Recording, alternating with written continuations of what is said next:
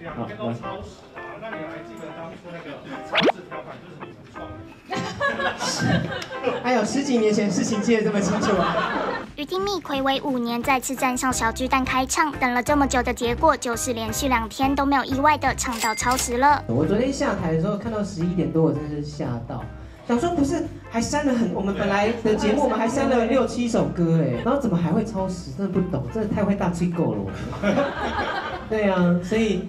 我觉得超时就应该罚钱，这是应该的，因为这就是游戏规则，我们一定会乖乖的缴纳这些罚金，应该的，应该的。那今天因为是我自己说啊，算了啦，所以我希望我可以承担今天的罚金。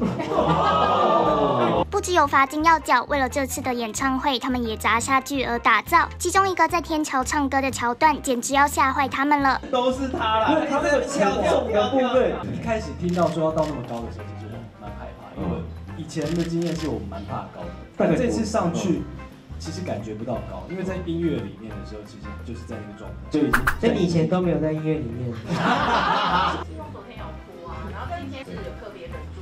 没有，我真的觉得那个东西真的，就是你知道，泪水有时候真的跟灵感一样突然。我今天就是没有那个灵感，对，但是不代表我不真心唱歌啊。昨天就是有一有一个想流泪的冲动，不知道为什么，可能。很久违的听到大家大合唱的声音吧？对啊，真的不是因为手机灯，看到那个稍微有点止住泪水。但我昨天也没有到痛哭吧？你们标题真的是来下标题的都给我站出来！你们的文字要再精准一点。